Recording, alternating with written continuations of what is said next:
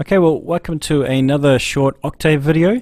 Uh, so you may recall in Unit 1, Week 3, there was a an Octave tutorial or an Octave lecture.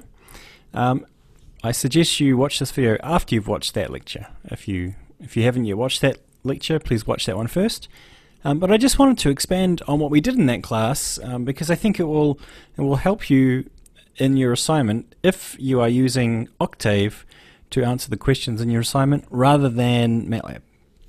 Okay, so what I'm going to do is I'm just going to go to Octave Online now. Uh, we'll open that up.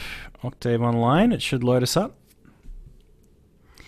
Okay, I'm going to open a script that is very similar to the problem that we solved in uh, that week three. So let's go through this line by line really quickly. So we got clear all, which clears all the variables, close all, which uh, closes any figures that may be on, uh, CLC just clears the command window to give us a nice clean slate.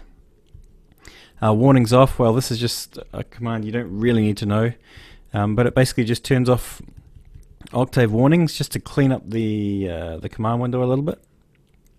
Okay, but here's really where the, the magic starts. So firstly we define this symbolic variable y, which is a function of x, same as in the, uh, the week 3 tutorial. And then we define the differential equation. So dy by dx is this term here. So dy by dx is just diff of y of x comma x. So we're differentiating y of x, that symbolic variable, with respect to x. Take away 0.2 times x times y of x equals 0. Okay, so this is just our differential equation. dy by dx minus 0.2 times x times y equals 0. Okay, this line here, sol1 equals dsolve. Okay, so this dsolve is the command that solves the differential equation. de is the definition of our differential equation from line 7 above here. Uh, and then we had our initial condition when x equals 0. So when x equals 0, 0 y is equal to 0 0.3. Okay, and if I, well, if I uh, comment out these uh, comment out these lines here, oops, I accidentally ran it, but okay. If I comment out these lines, let's just see what we get if we if we run that. Okay, so I have to add more time to each of these each of these uh, runs. So I just watch down here and wait for it to say add 15 seconds, and I click on that.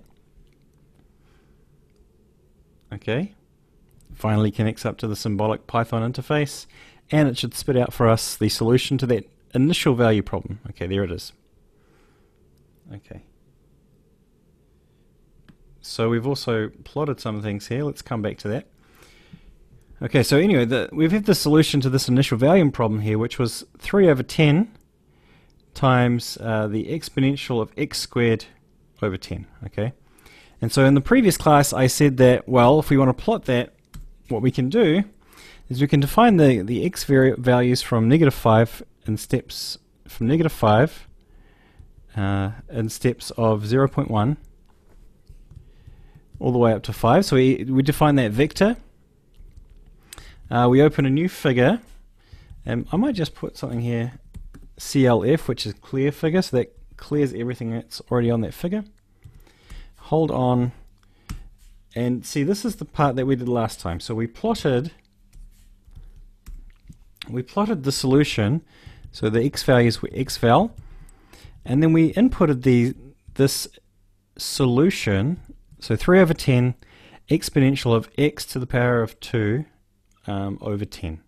So we manually inputted that. But for your assignment, that may be too much work, right? There may be too much typing um, to do that.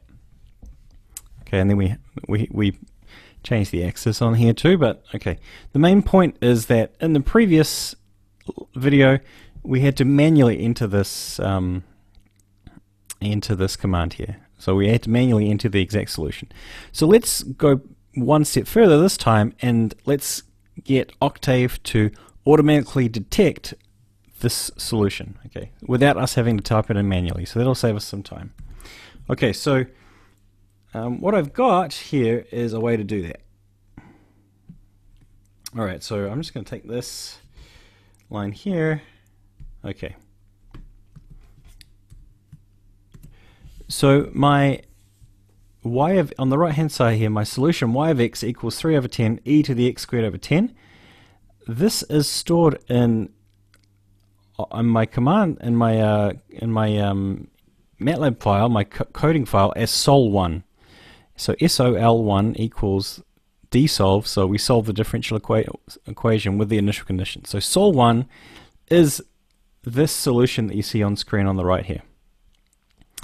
If now I say solution 1, so it's just a name, you can call it anything you like, equals function underscore handle, and then in brackets RHS, which stands for right hand side of sol1. Okay, well, if I uh, run that now, let's just uh, let's let's break there. Break just stops the code running any further. Okay, so if I run that now, I get uh, an error, error sourcing file. I don't know what's wrong with that. Well, let's get rid of break. Maybe that maybe it doesn't like break. What's wrong with this thing? Okay, it seems to be working now. I'll add another 15 seconds. And up here you can see that solution 1 is the right hand side of that differential equation. So 3 over 10 times exponential of x squared over 10. Okay, so by adding this command function handle right hand side of sol1 and I set that equal to solution 1, now I have a variable that is just the right hand side of the solution. So just the 3 over 10 exponential of x squared over 10. Okay. What I can then do is define my variable y1. So what, what this does is it takes that solution, solution 1, and in brackets I put x val. So x vals is that vector x between negative 5 and 1. And what this does is it substitutes in the values of that vector into y1. Okay.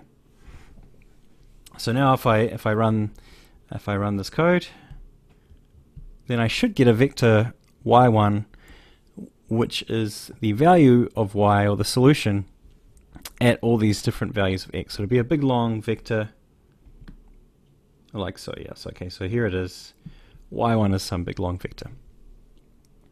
Okay, and then finally, if I want to plot that, um, well, what I want to do is I want to plot x val, so the, the x vector, versus y1, that vector we've just defined. I'm going to plot the, the plot in green and use a green star as a marker. And well, I've set the marker size to be 3. Uh, so now if I run that, you've probably already seen the uh, this graph here, but let's run it one more time. Okay, so now the, the red line underneath is the solution or the or the, the manual way of entering the uh, the solution manually, uh, which was which we did in the week three class. So this line here is the red line. Um, the green markers, though, they they are the solution that we get using this function handle. Okay, so basically these two lines here, 23 and 24, are going to be very useful to you if you don't want to be writing out the exact solution of these differential equations manually each and every time. Um, so if you do this, this should help you with your assignment one. If you have any questions, please get in touch. Thank you.